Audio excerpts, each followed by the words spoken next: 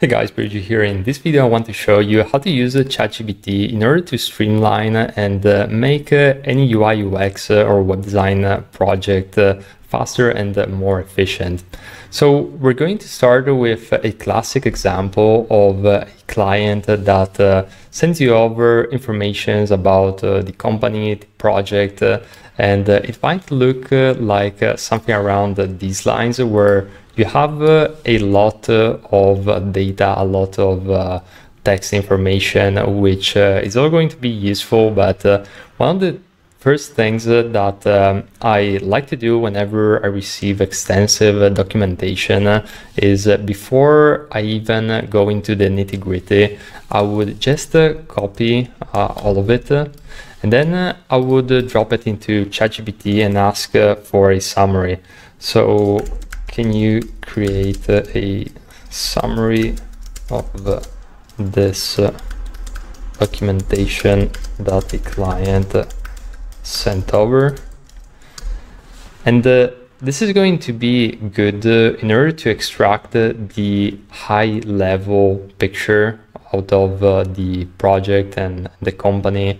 So of course you don't want to just rely on this uh, and you always want to actually go through the documentation, but uh, having the high level key points uh, highlighted and structured it's uh, going to be really, really useful, especially when you first uh, start out uh, on uh, a project and you just want to focus on uh, the high level.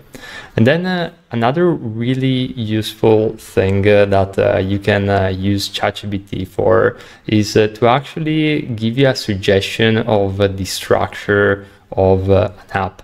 So in this case, we have a documentation about Coinbase and uh, we can actually ask uh, ChatGPT to give us an outline for a landing page based on all the information that uh, we received from the client, such as what the company stands for, what are their goals, the history, what are their competitors, how they actually offer an advantage point uh, compared to them, what is their USP, so on and so forth.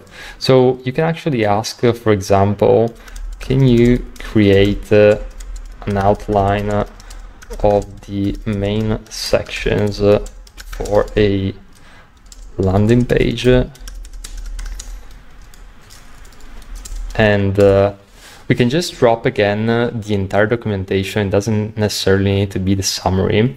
And uh, this is going to give you some uh, ideas uh, which uh, you can then leverage to create the wireframe and so on and so forth. So, of course, you always want to take this with a grain of salt. the ideal process is always you having a close look at the entire um, documentation and uh, you need to think uh, with uh, your mind that you can just rely on ChatGPT and you know have everything uh, you know automated uh, in a way that uh, doesn't involve like your human effort. Of course you're going to come up with a better solution and you're going to have an attention to detail which ChatGPT at the moment cannot give you. But this is really good uh, in order for you to avoid having to start everything from scratch and from a blank canvas. So see it uh, as uh, an assistant that can give you ideas, that can help you brainstorm uh, in a creative way.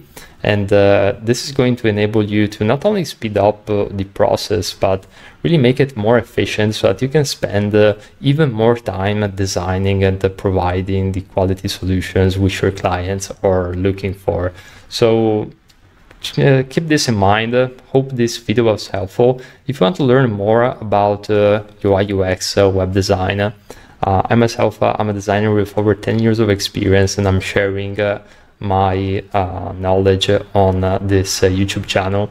So feel free to check out the other videos, and I'll see you in the very next one.